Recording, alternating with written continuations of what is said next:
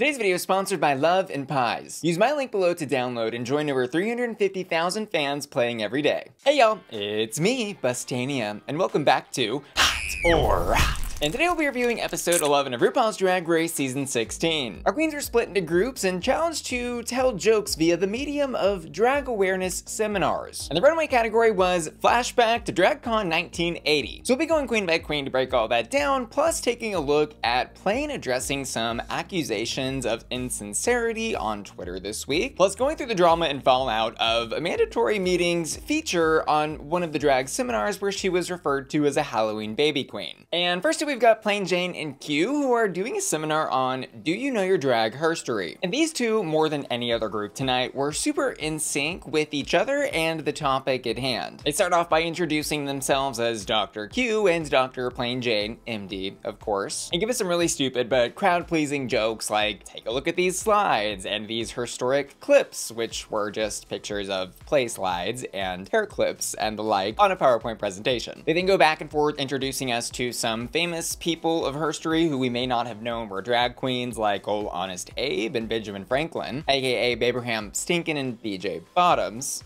And they end with a groundbreaking revelation that the Big Bang was actually the Big Tuck. These two were able to bounce off of each other, I think were generally speaking funny enough for this type of challenge. And we even see this strange chemistry between their presentation characters develop as the skit goes on, where it ends with a surprise kiss. The only criticism I really had for their presentation was both queens felt like they were very much at the same level and ultimately playing the same character. Some peaks and valleys or contrast in their character archetypes could have helped, I think, add a little more humor into the situation. But on the other hand, I think their tight synchronicity is what made their presentation feel so cohesive and good. So I'd give these two both as for Plane over on the runway this week, she gives us a super gorgeous pink and green, purpley blue neon swirl pattern of colors power suit with lots of different black fabric panels sewn throughout this look to add contrast and dimension. I love the way this jacket has those giant shoulders and the peplum around the waist. And let's be honest, Miss Plane Jane did a pretty good job of making capri pants look sickening on the runway. I think a bigger concept than sickening 80s power suit could have helped sell a more interesting fantasy, but I loved the look as is is. And I'm really enjoying seeing Plane expand the diversity of silhouettes that she has shown us in her runway catalog this season so far. This look is hot. And before we take a look at Q's look, I think it's important to highlight the conversation she was having in the workroom this week with her scene partner Plane Jane. She was very bravely so open and honest about her HIV diagnosis, what that means for her, and how she's handled all of this with her loving husband, who we also saw pop in during Untucked with a really beautiful message. And I want to absolutely commend Q for sharing sharing her story and truly being brave enough to talk about this stigmatized topic on national TV that has an international impact. However, it seems not everyone watching the sweet moment between Q and Plane interpreted Plane's response in a sincere way. A user on the platform X, formerly known as Twitter, screen capped this moment where Q says, I've been HIV positive for two years, and Plane responds, Mama, kudos for saying that, for spilling. And they wrote, Plane's response here is absolutely sending me, so unserious. And let me just say, if you hadn't watched the episode, I'm sure that reading this caption as her initial response to what Q is saying might read a little insincere, but having watched the episode, I can say that there truly, from my perspective, was nothing but sincerity in the tone of her voice and how she handled this conversation with Q. And indeed, Plane took to defending herself online in response to this post, writing, I don't know, I meant it sincerely. Very proud of Q for sharing her status publicly on national television. That isn't to say that I'm not severely socially impaired though, but I think we've all clocked that by now. Anyways, on to Q's runway, which is absolutely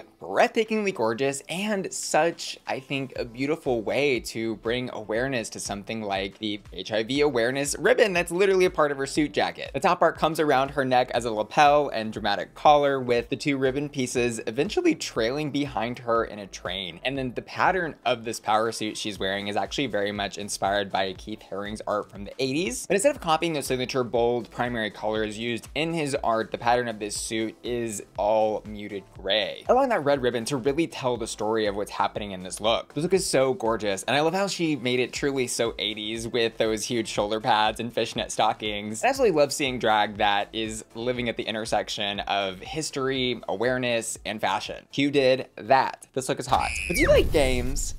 tea, juicy drama, and mystery all wrapped up into one titillating experience? Which I guess is rhetorical since you're watching one of my videos, so go ahead and click the link in the description of my video to start downloading Love and Pies, one of my favorite games and the sponsor of today's video. Love and Pies is like a strategic matching game crossed with a telenovela, with the goal of trying to rebuild our cafe which was tragically destroyed in a fire, while trying to solve the mystery of who did it along the way. To rebuild, we've got to earn some coins from our customers by baking them some tasty treats in our kitchen. We can see what treats our customers are asking for up top and then match ingredients in the square below to complete their orders. And my cafe is still a work in progress, but I've got some cute little pink flamingos out front for the customers to enjoy. And I was actually in the process of painting my cafe pink when this shady lady named Edwina showed up. Now let's just say after she bragged about stealing all my customers and flaunting the success of her mega cafe while simultaneously suggesting that my very own mother burnt down my cafe, I don't trust her anymore. Love and Pies is a lot of fun, and one of the reasons I love playing is because the creators of the game put so much work into including a wide, diverse cast of characters into the game. And I love how they send out special gifts to players on days like International Women's Day or the start of Ramadan. And you can start playing Love and Pies by clicking the link in the description of my video. Love and Pies is free to download and available on mobile devices. Thanks Love and Pies for sponsoring today's video. And next up we've got Dawn and Mhi'ya Iman LePaige presenting on the topic of drag in the workplace. And Dawn starts her duo's presentation with with a little joke about adult beverages and maybe being at the wrong gig, which sets the general idea for their presentation being about surviving a drag queen's presence next to you in the office and how to interact with them if they're there. And generally speaking, Dawn of these two was the more composed and on track throughout the presentation, but she does include throughout the bit these jokes about Plane Jane, where she's featured in a slide as one of the queens returning to the corporate world, and then also has her face on the can of bear spray. The context of Plane Jane being the butt of the joke throughout throughout their presentation, being that she and Dawn had a little bit of a falling out at the beginning of this episode. Dawn basically said Plane's look was boring, and Plane came back at Dawn calling her a creature from the Black Lagoon that needs to go back, and saying she was wearing rags from a child's bedroom, and saying that she was all concept and no gorgeous, and...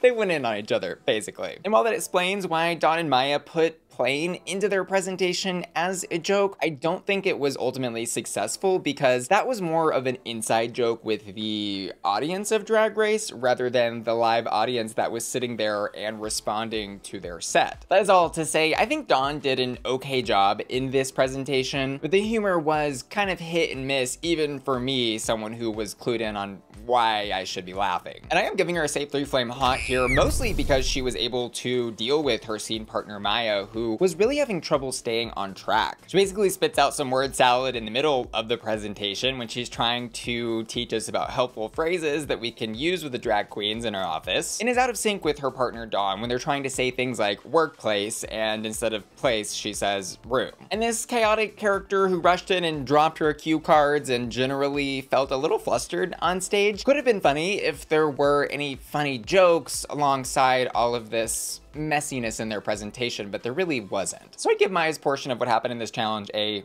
over on the runway, Dawn says she's serving as 80s rocker punk bitch with some chappy pants being suspended by a coat. Dawn's knowledge of fluid dynamics jumping out yet again. But this time I would argue not so successfully. This outfit for me lacks a central point of focus. It reads more as a random collection of fishnets, straps, stripes, patterns, fabrics, and things. And even Michelle Visage, who I would say is very much an 80s fanatic and aware of that decade's style, didn't recognize Dawn's look as being 80s but RuPaul actually seemed to enjoy this look a lot, acknowledging its punky roots and even compares it to a band called Sigue Sigue Sputnik, which after looking that band up, I can definitely understand that reference point. And generally, I do like the edgier aesthetic and way she approached this look. And I think it'd be really fun for an 80s night in a club or even a performance number on stage, but on the drag race runway, it just doesn't feel elevated enough for me. So I would give this look a rock. Mhi'ya Iman LePaige, on the other hand, though, she said, I'm gonna make sure that I hit this runway brief correctly and says that to get inspiration for this look, she literally Googled drag DragCon in the 80s and then recreated what she found. And someone on Reddit actually found what was apparently the reference she used, and it's literally AI generated art, which is such a crazy train of thought to me because I don't think I would ever think to Google DragCon in the 80s,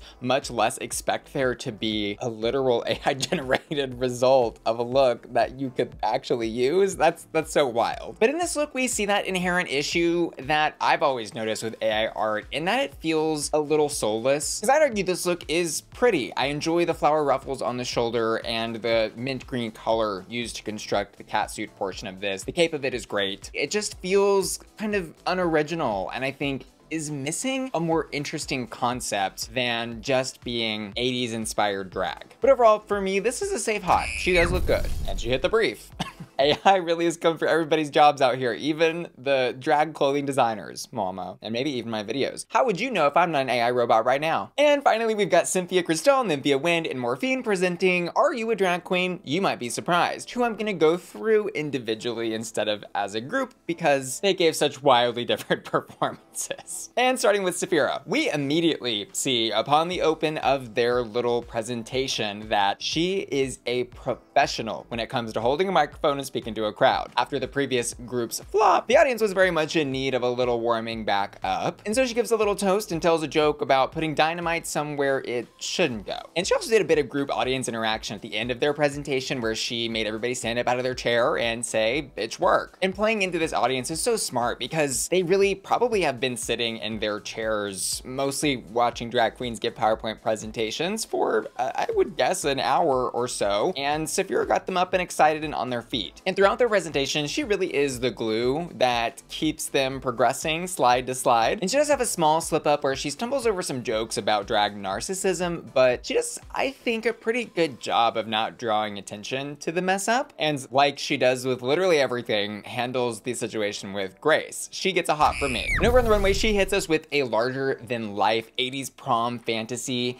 and of course is in a really interesting silhouette in a gown that is fashionable, campy, and generally fun and original. I love the oversized buttons and lapel with all the contrast in the black and the white. Everything just looks so chic and stylish and perfectly 80s. Plus she just looks absolutely gorgeous. I don't know if there was something a little different she did with her makeup here, but it's amazing. She looks hot. And next up, Nymphia Wind, who this episode goes through her usual routine of freaking out, being anxious about everything, and then ultimately doing just fine. There was a bit of controversy though, I suppose, with how she handled the character choice she made in this presentation. Comedy of her jokes seems to be mostly relying on Asian stereotypes and a really thick accent. And it seems the judges didn't really know how to receive this, because on one hand, they were applauding her for choosing such a bold character and sticking to it. But on the other hand, they're saying they felt nervous to laugh at some of the hyperbolized stereotype things she was saying. And she, during the critiquing session, explains her character choice as wanting to bring the different sounds of the world to her drag and ultimately the drag race stage. And personally, I was entertained by what she did. She felt like such a breath of fresh air, I think, compared to the, we won't say stale, but businessy presentation format of this challenge. And I do think it was a little weird weird to hear them be so critical of the accent choice she made, considering we didn't hear them express those same concerns when Plane did things like speak in her really over accentuated Russian accent. But let me know what y'all thought about all that in the comments below. She gets a hot for me. And over on the runway, Nymphia absolutely kills it. This look is so sick. She's giving us a reference to some looks Grace Jones did in the 1986 film Vamp. And has these super gorgeous concentric metal wiring accessories in her hair, on her chest, and in her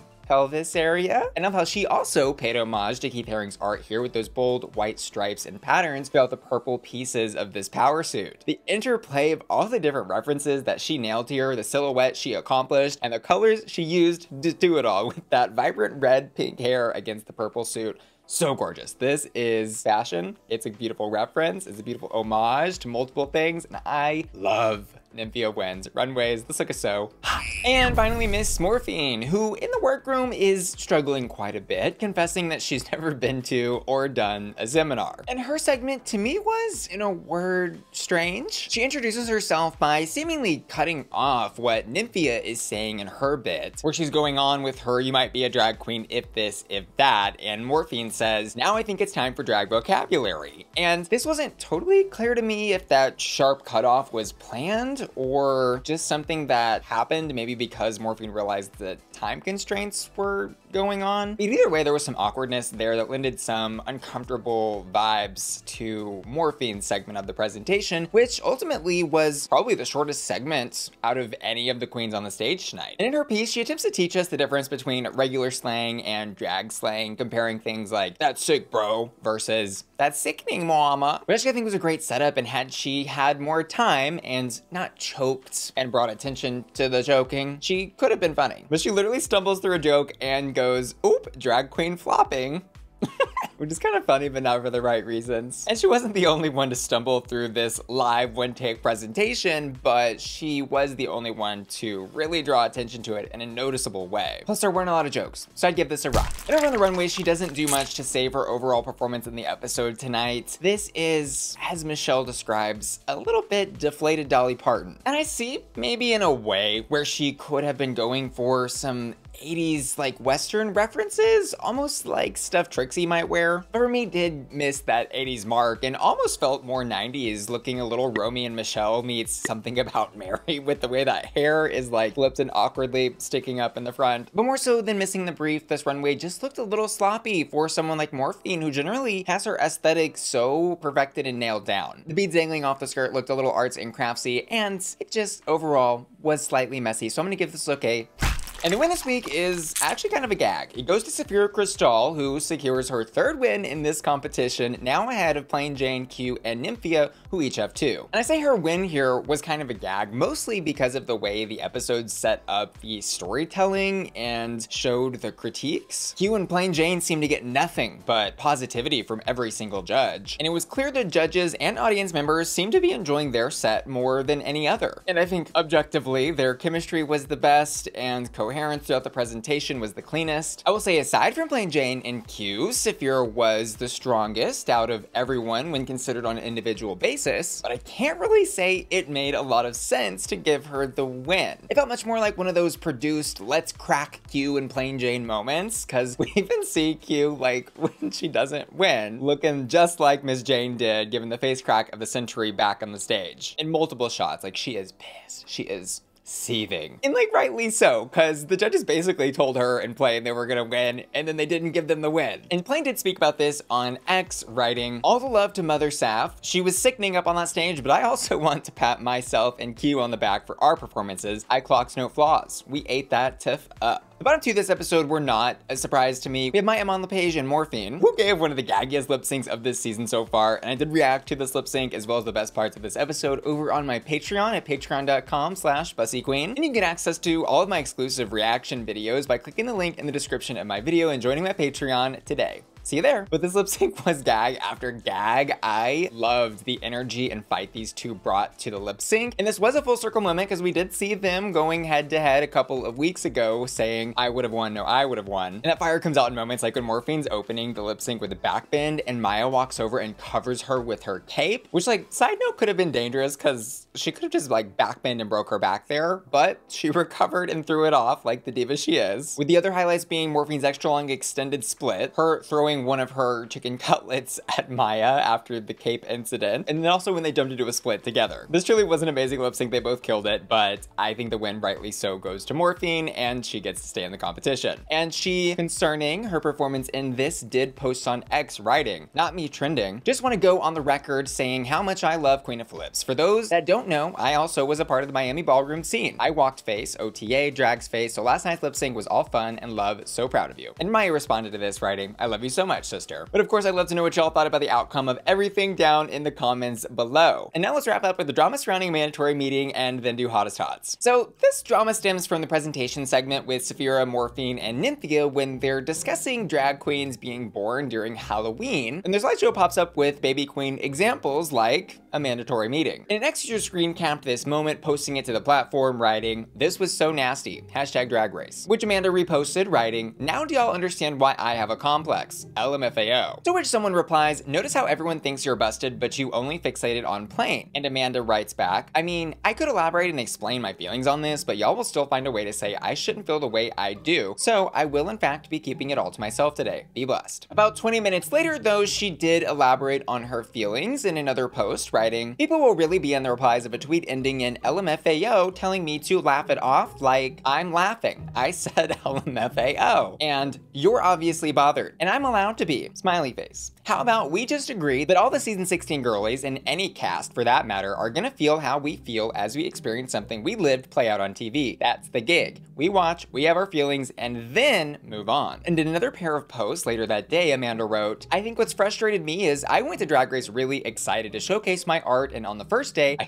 shut the bed with my makeup, which became all anyone could talk to me about on set, and everything I have to offer feels overshadowed by makeup slash getting red all the time. Like, I get it. I know we signed up to be critiqued and talked about, but reducing me to crunchy makeup when I'm literally so talented, charismatic, creative, funny, smart, and now gorgeous, it just feels so short-sighted of people, I guess. And Malaysia Babydoll Foxx of season 15 responded sweetly to Amanda writing, Welcome to Drag Race. What you showcase doesn't define the type of queen you are. This is the opportunity now to show the world everything else you're capable of. If you let people know it bothers you, that's all they will ever use to get a reaction focus. And Bianca Del Rio also responded to this post in a lovingly sister reply, writing, Okay. To which Amanda responds, gonna start painting like you, maybe then I'll win something. And now for Hottest Hot. In the challenge, I'm gonna give it to Plane Jane, and on the runway, Q. And I also asked my patrons to vote on their Hottest Hot for the runway this week, and they've chosen Nymphia Wind. And I wanna give one more thanks to the sponsor of today's video, Love and Pies. Download Love and Pies using my link below and solve the mystery of who burnt down your cafe. Well, you decorate it to your liking and restore glory to your mother's name. And I wanna give an extra special shout out to Ashley Brungard,